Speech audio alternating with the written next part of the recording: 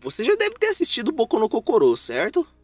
Se você não assistiu, vai pra puta que pariu. Boku no Kokoro foi um dos melhores animes de romance de 2022 e 2023. Sério, mano. Quando assisti esse anime, eu achei muito legalzinho. O personagem principal é um psicopata que tem desejos em matar a menina mais bonita da sala. E sério, eu nunca entendi isso. Mas tá bom, vamos continuar a história. Bom, ao decorrer do anime, os dois vão se apaixonando. Tanto o Ishikawa quanto a Yamada. Eles dois começam a ter um romance muito fofo.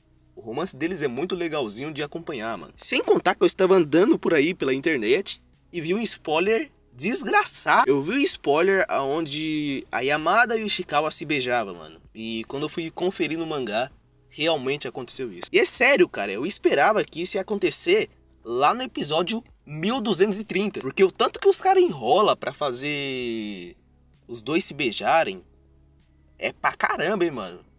Tá parecendo um anime que eu conheço aí, hein? Um tal de Nagatoro. Boku no Kokoro. Um anime de romance que eu não dava nada, cara. Sério. Quando eu comecei esse anime, eu... Pô, comecei por mero capricho, tá ligado? Eu não queria nem saber. Eu pulava algumas partes. Eu só queria ver se esse anime ia me interessar. E no segundo episódio, esse anime me interessou e eu continuei assistindo, mano. Sério, se você não assistiu esse anime, eu te recomendo assistir. É muito legalzinho e divertido. O Ishikawa é um personagem muito doido, porque ele quer matar a, me a menina mais linda da sala.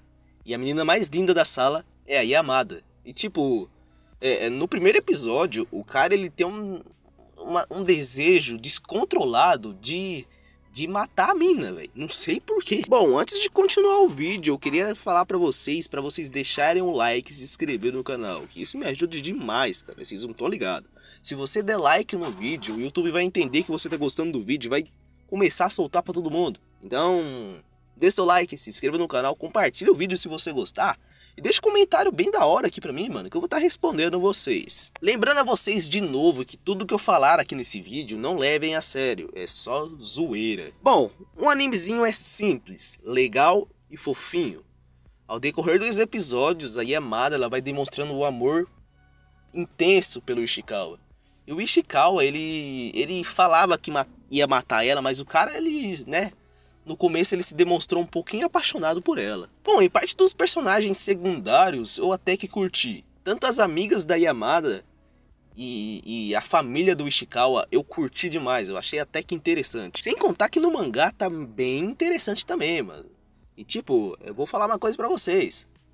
Eu estou ansioso pela segunda temporada com o que aconteceu no mangá. E cara, eu tô ansioso pra caramba mesmo. Bom, bora lá. Eu vou falar uma coisa aqui sobre o anime Boku no Kokoro.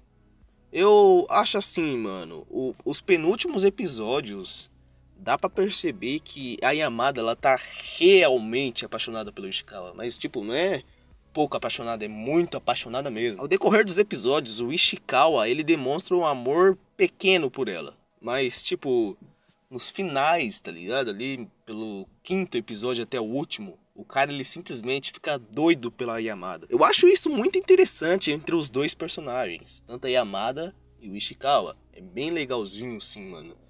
E tipo, tem até um episódio que o Ishikawa ele machuca o braço e a Yamada ela tipo fica super preocupada com o cara. Ah, mano, é sério, sério aqui, sério, mano. Se você odeia esse anime, eu peço que você vá pra puta que pariu. Vamos falar a verdade aqui, mano. Todo mundo assiste esse anime só por causa da Yamada, cara. Ela tem aquele respeito enorme. Olha, cara, vou falar uma coisa. Esse anime me surpreendeu demais. Sério, eu não esperava nada. Eu, os primeiros episódios, para mim, foi uma bosta. Pelo menos na primeira vez que eu assisti. Eu não curti muito os primeiros episódios. Mas ao decorrer dos episódios, eu comecei a me interessar e comecei a, a gostar pra caramba do anime. Tanto que eu esperava o dia certinho para lançar para me assistir. Bora lá. Boku no Kokoro um anime de romance que no começo é uma bosta, mas tipo, ao longo dos episódios, é, os personagens principais vão se relacionando de um jeito diferente. E tipo assim, mano, os personagens secundários que eu citei anteriormente é muito bom. Eles não são personagens secundários ruins pra caramba, mas eu gostei pra caramba assim, mano. Tanto da mãe do Ishikawa, a irmã do Ishikawa, tanto as amigas da Yamada, é, é muito legal os personagens secundários. E tipo, esse anime tem tudo para ser um dos animes bons de romance. Mas até lá, né? Vamos ver, né, cara? Bom, esse foi o vídeo. Eu espero que vocês tenham gostado, mano, porque eu, eu, eu curti demais. É, esse anime para mim foi um dos melhores animes de romance 2022/2023. Cara, eu curti muito. Estou esperando a segunda temporada, talvez em 2024 vai sair. Mas é isso, mano. Tamo junto. Espero que vocês tenham gostado. Eu vou ficando por aqui. Agradeço a vocês que estão assistindo meus vídeos. Ultimamente tem acontecido bastante coisa ruim na minha vida, mas é isso. Obrigado. Tamo junto. Até a próxima.